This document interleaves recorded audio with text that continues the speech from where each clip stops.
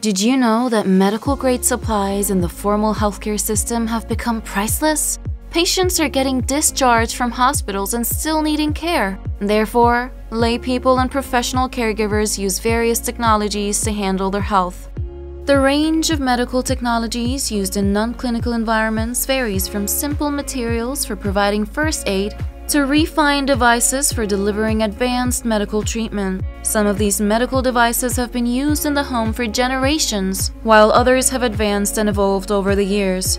Emerging technologies provide new home healthcare management options every other day.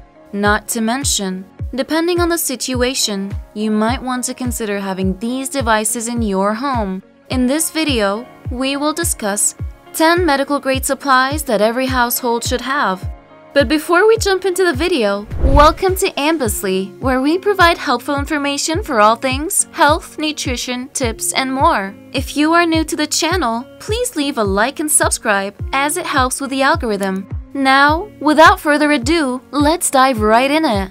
Number 10. Medical Thermometer Medical thermometers are essential to a patient's health. Understanding body temperature is critical when dealing with not only babies and toddlers, but also with adults. Medical thermometers allow healthcare professionals to more accurately monitor the temperature of a person from the normal baseline core temperature. It has been widely understood that body temperature can be an indicator of health for decades. However, thermometers did not appear in clinical medicine until the 16th century. Even at this stage, medical thermometers were very different to what we know today. Most were known as thermoscopes, which operated through the air trapped inside a glass tube. Mercury thermometers were a standard medical device until fairly recently when they started to be phased out due to toxicity. Having one around is always useful, especially when you suspect a fever is present.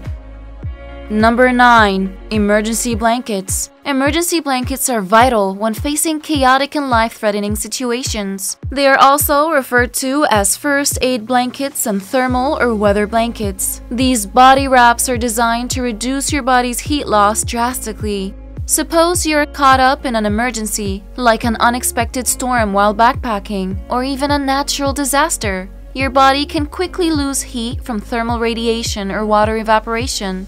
An emergency blanket can help your body retain its heat, and its use is an effective survival tactic as you await a rescue team.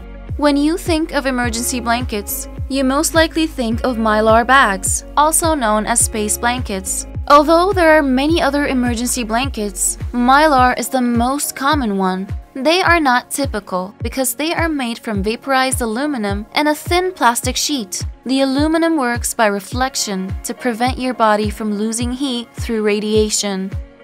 Number 8. First Aid Kit First aid supplies are not limited to goggles, gloves, or surgical masks. You can add scissors, tweezers, lights, torches, cotton swabs, and an assortment of other useful things.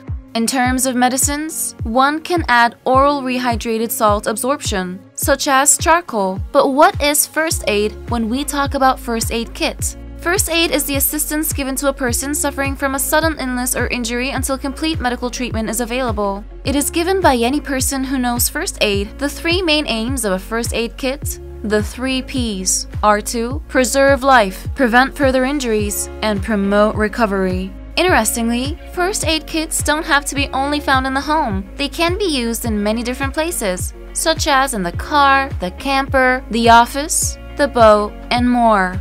Number 7. Humidifier. A humidifier is a device that increases the humidity of a single room or an entire building.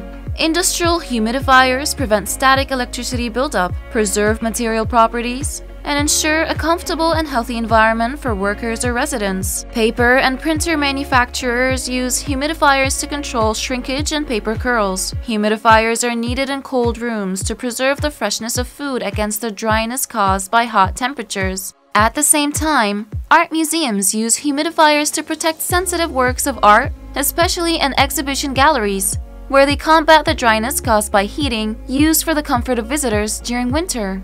So you can imagine what a humidifier can do in your own home and its many benefits. Number 6. Eye Wash Eye wash is a fluid mainly used to physically flush the eyes in case foreign materials or substances should splash or irritate them. Eye wash also benefits those with sensitive eyes and can relieve the painful side effects of sensitivity.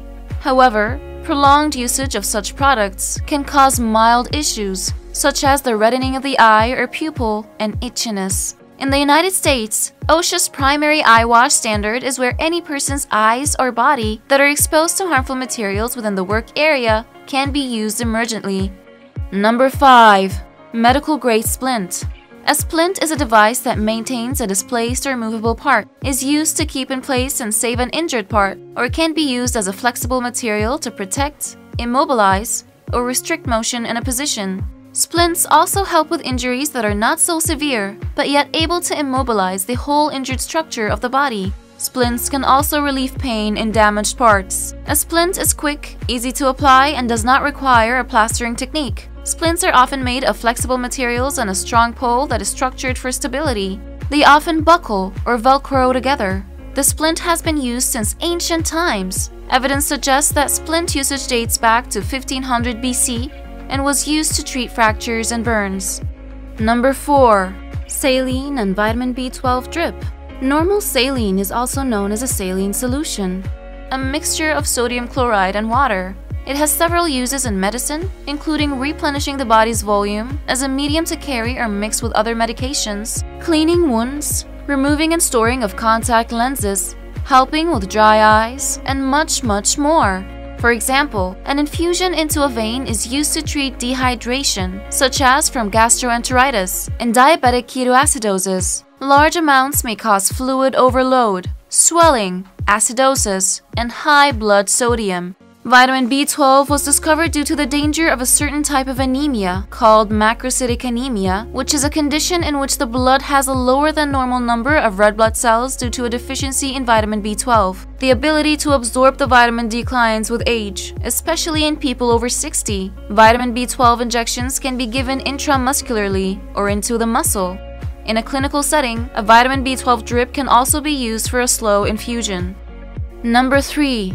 Antibiotics an antibiotic or antibacterial is a chemical element that kills bacteria or slows their growth. They are used in medicine to treat and cure diseases caused by bacteria. Penicillin was the first antibiotic to be discovered. The first antibiotic production began in 1939, and in the modern day, several chemically synthesized antibiotics are manufactured to treat certain antibiotic-resistant bacteria strains such as methicillin-resistant Staphylococcus aureus, due to the overuse and misuse of antibiotics. Antibiotics do not treat or address viral processes. Some doctors will still prescribe antibiotics as an empirical treatment for patients presenting with certain illnesses or conditions. Topical antibiotics are useful for scratches and small lacerations, can be found in different first aid kits and should be part of any medicine cabinet. Number 2. Neti pot. Neti pot commonly relies on gravity and head position to rinse the outer sinus cavities.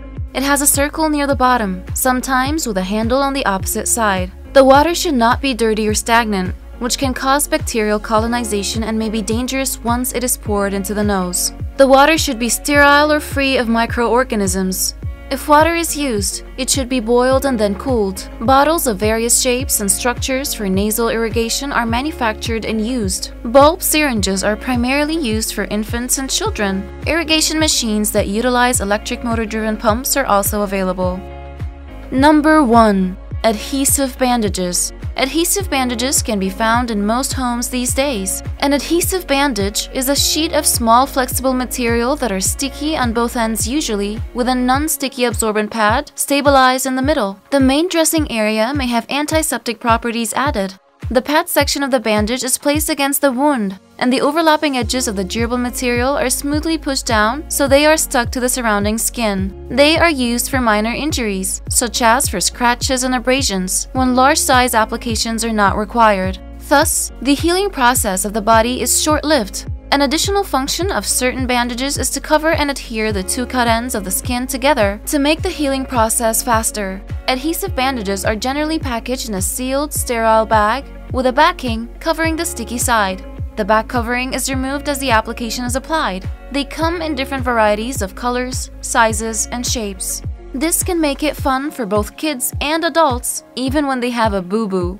So there you have it. Which of the medical grade supplies do you have in your home and which will you need to buy to complement your home supply? Let us know in the comments below. If you find this video helpful, please like and subscribe to our channel for more useful information. Thanks for watching and see you soon in the next video.